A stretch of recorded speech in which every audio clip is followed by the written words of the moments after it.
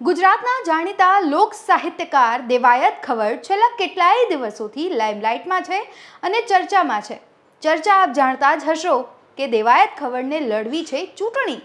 પરંતુ કઈ પાર્ટી તેમને ટિકિટ આપશે અને ક્યાંથી તેમને ચૂંટણી લડવાની ઈચ્છાઓ વ્યક્ત કરી છે? મહત્વનું છે કે થોડા દિવસ પહેલાં જ્યારે તેઓ બનાસકાંઠામાં એક કાર્યક્રમમાં હતા, ડાયરો કરી રહ્યા હતા, તે જ સમયે તેમને તેમની ઈચ્છા છે એ વ્યક્ત કરી હતી. ત્યારે આ સમગ્ર મુદ્દા પર ખાસ એક ન્યૂઝ એજ, ન્યૂઝ એજન્સીને તેમને ઇન્ટરવ્યૂ આપ્યું છે અને તેમાં પત્રકારના સવાલનો જવાબ પણ ખૂબ સરસ રીતે અને સટીક રીતે દેવાયત ખવડે આપ્યા છે. આ સવાલ જવાબ જે છે, જે પૂછવામાં આવ્યા છે, આખી કોન્વર્ઝેશન છે, આપ ગુજરાત તકની વેબસાઇટ પર એ જોઈ શકો છો. અને જાણી શકો છો કે દેવાયત ખવડે શું સવાલના જવાબ આપ્યા છે. પરંતુ છેલ્લા કેટલાય દિવસોથી આપને ખ્યાલ જ હશે કે અટકળો વહેતી થઈ હતી અને બનાસકાંઠાની જનતા પાસેથી તેઓ પ્રેમ માંગી રહ્યા હતા અને કહી રહ્યા હતા કે બનાસની જનતા મને ખૂબ પ્રેમ પણ કરે છે. એટલે સૌ કોઈએ અટકળો માની જ લીધી કે કદાચ એમને બનાસકાંઠાના વાવ વિધાનસભા બેઠક પરથી ચૂંટણી લડવાની ઈચ્છા છે. પરંતુ શું ભાજપ કે કોંગ્રેસ તેમને ટિકિટ આપશે ખરી? આ એક મોટો પ્રશ્ન હતો.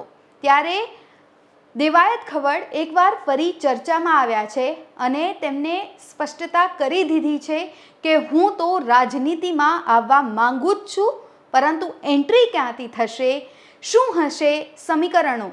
કારણ કે વાવ વિધાનસભા બેઠક પર બે હજાર સત્તરથી ગેનીબેન ઠાકોર ત્યાં ધારાસભ્ય હતા કોંગ્રેસમાંથી અને હવે જ્યારે તેઓ સાંસદ બની ગયા છે, ત્યારે તેમને રાજીનામું આપી દીધું છે ધારાસભ્ય પદેથી.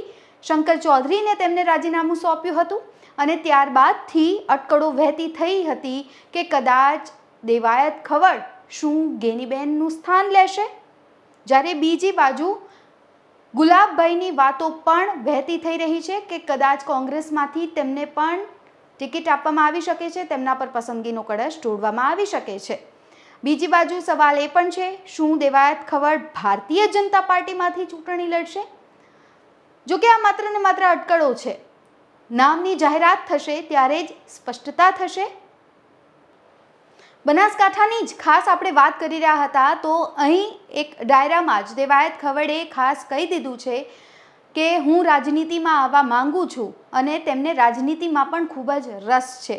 જ્યારે પત્રકારે આ સવાલ કર્યો હતો કે શું તમે રાજનીતિમાં આવવા માંગો છો, તો બે ધડક દેવાયત ખવડે હા પાડી હતી અને કહ્યું હતું કે હું રાજનીતિ કરવા ઈચ્છો ઈચ્છું છું અને હું રાજનીતિમાં એન્ટ્રી કરવા પણ માંગુ છું, જેના કારણે મારે ચૂંટણી પણ લડવી છે. અને આ ઈચ્છા તેમને મીડિયા સમક્ષ પણ રજૂ કરી છે, જેને લઈને એકવાર ફરી અટકળો વહેતી થઈ ગઈ છે.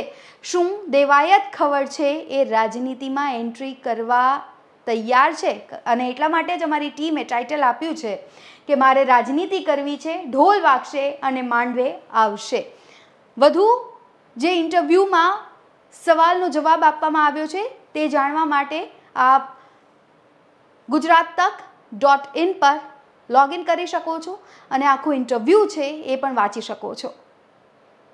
અહીં દેવાયત ખબર ખાસ વાત એ પણ કહી રહ્યા છે કે હું પક્ષનું નહીં જણાવું, પણ ઢોલ વાગશે અને માંડવે આવશે. વિપક્ષ કે સત્તા પક્ષ કઈ પાર્ટીમાં દેવાયત ખવડની જોડાવાની ઈચ્છા છે? આ સવાલ જ્યારે તેમને પૂછવામાં આવ્યો, ત્યારે આ સવાલના જવાબ પર દેવાયત ખવડે કહ્યું કે રાજકારણમાં હજાર ટકા ટૂંકા સમયમાં મારી એન્ટ્રી થશે. પરંતુ હું તમને પક્ષનું નથી કહેતો, પણ ઢોલ વાગશે અને માંડવે આવશે. હું આ અંગે અત્યારથી નહીં જણાવું. આ સાથે જ તેમણે કહ્યું હતું કે હું રાજનીતિમાં નિષ્ઠાથી આવીશ, સત્તા અને પૈસાની લાલચે નહીં, ગરીબ ખેડૂતોને કોઈ પણ ક્ષેત્રમાં મદદ. મહત્વનું છે કે બનાસકાંઠામાં બસ થોડાક જ દિવસોમાં પેટા ચૂંટણી યોજાવા જઈ રહી છે, જેને લઈને અનેક નામોની ચર્ચાઓ પણ શરૂ થઈ ચૂકી છે, ગણગણાટ શરૂ થઈ ચૂક્યો છે. ત્યારે જોવું એ ખૂબ જ રસપ્રદ રહેશે કે દેવાયત ખવડ શું વાવ વિધાનસભા બેઠકથી ચૂંટણી લડે છે કે કેમ? અને જો લડે છે, તો કઈ પાર્ટીમાંથી લડે છે? અત્યારે આ રિપોર્ટમાં બસ આટલું જ. ગુજરાતના તમામ મહત્વના સમાચાર જોવા માટે અને જાણવા માટે યુટ્યુબ પર અમારી ચેનલ ગુજરાત તકને સબસ્ક્રાઇબ કરવાનું ન ભૂલતા. આ સાથે જ ગુજરાતના તમામ મહત્વના સમાચાર વાંચવા માટે અચૂકપણે ક્લિક કરો અમારી વેબસાઇટ ગુજરાત તક ડોટ ઇનને ફરી મળીશું. નમસ્કાર.